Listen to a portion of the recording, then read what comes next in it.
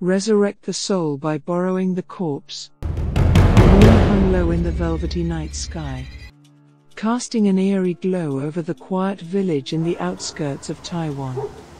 The wind whispered through the trees, carrying with it the unsettling tale that had plagued the region for over half a century.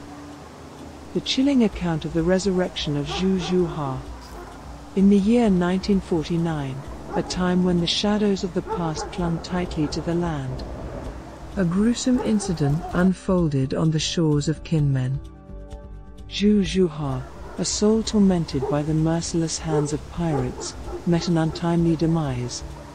Yet, death did not embrace her fully, and her spirit lingered in the realm between life and the afterlife.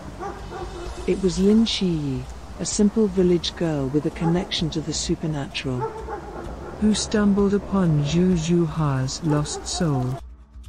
Lin Shiyi, unsuspecting and innocent, found her own life entwined with the ethereal as her wife fell unconscious.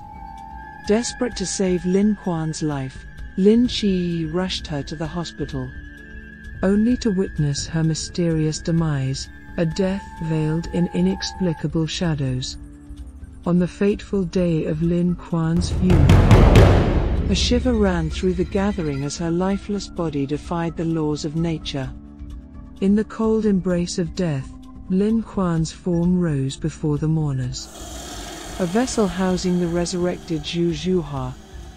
A ghastly revelation echoed through the air as Zhu Zhuha declared her return, using Lin Kuan's body as a conduit for her resurrection. The villagers, Lin's husband Wu Qiud among them, stood frozen in terror.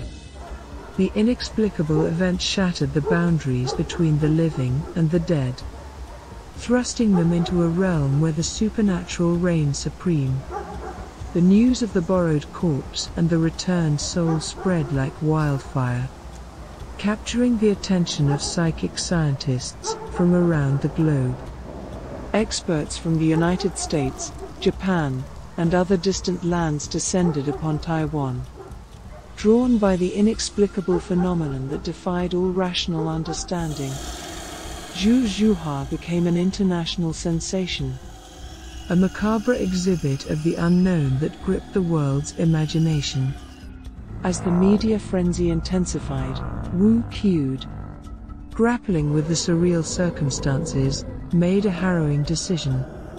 To escape the prying eyes and invasive questions, he spirited away Zhu Zhuha, the woman who borrowed his wife's body, to the desolate suburbs of Taiwan.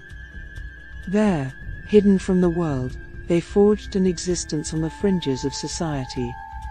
Haunted by the specter of the borrowed corpse and the resurrected soul. In the present day, the air in the secluded village hung heavy with an unspoken unease.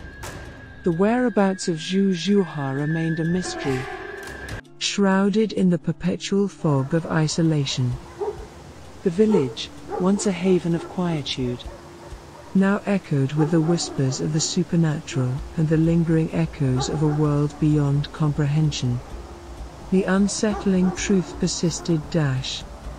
The resurrection incident that had transpired 55 years ago in Taiwan was not a mere tale, but a bone-chilling reality. It served as a grim reminder that within the seemingly mundane fabric of existence, the threads of the extraordinary could weave a tapestry of horror, challenging the very foundations of life and death.